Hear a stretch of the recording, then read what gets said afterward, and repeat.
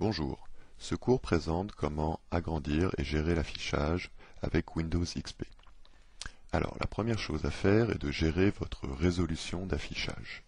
Alors comment faire ceci? Vous vous mettez à un endroit où il n'y a rien sur votre bureau et vous faites un bouton droit. Là vous allez en bas dans Propriétés et il vous ouvre donc les propriétés de l'affichage. Donc nous avons thème, bureau, écran de veille, apparence et paramètres.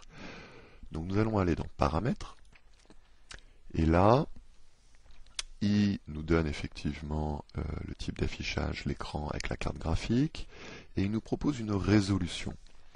Alors la résolution par défaut qu'il faut utiliser, qui est donc utilisée par tous les sites web, c'est 1024-768. Mais si vous voulez agrandir l'ensemble de ce qui est affiché à l'écran, donc afficher moins de choses, mais que ce soit plus gros, vous pouvez ici descendre voyez, et passer en 800-600.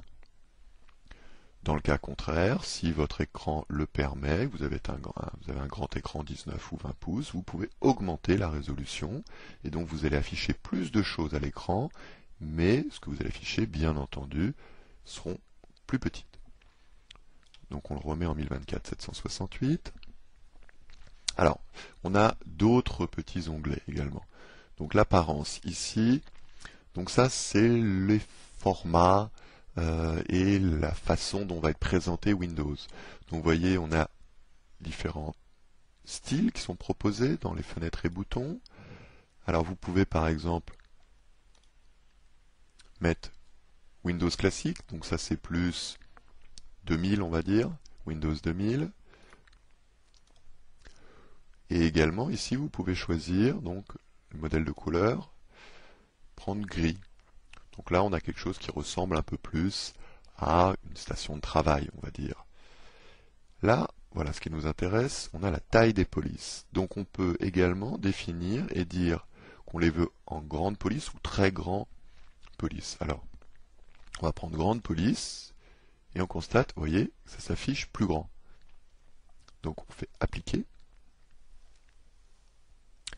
Et voilà l'ensemble est écrit en plus gros.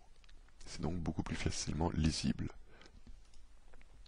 Donc on revient dans les propriétés. Donc, toujours dans l'apparence. Très grand caractère. Voilà. Là, c'est encore plus gros. Bon, là, c'est un petit peu extrême mais éventuellement certaines personnes peuvent vouloir utiliser leur Windows de cette façon. Donc si vous voulez agrandir, moi je vous conseille de mettre grande police ou normal, mais grande police c'est tout à fait gérable. Voilà. Alors également là on a l'écran de veille, donc je vous conseille plutôt de le mettre à 30 minutes. Voilà, l'écran de veille XP est très bien. Donc ça c'est euh, si vous ne touchez pas votre ordinateur pendant 30 minutes, et eh bien pour économiser l'écran, il va afficher ceci. Le bureau, alors le bureau c'est quoi? C'est l'image que vous avez en fond. Alors on vous en a proposé un certain nombre. Vous pouvez aller en choisir une autre, par exemple Windows XP ici. Et vous voyez, si je fais appliquer, paf, il se met derrière. Alors ce qui peut être intéressant aussi, c'est en cliquant sur parcourir, vous allez dans, dans mes documents, mes images, voilà. Et là, dans vos photos, vous allez sélectionner une image.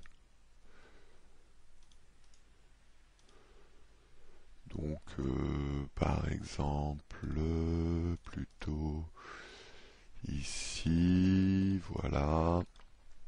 Voilà, il faut que les images soient au format JPEG. Voilà. Et donc là, il étire. Donc on constate que l'image, vous voyez, toute déformée. Donc ce qu'il faut dans ce cas-là, c'est vous faites centrer. Et voilà. Là, vous avez une image nettement supérieure. Donc vous faites OK.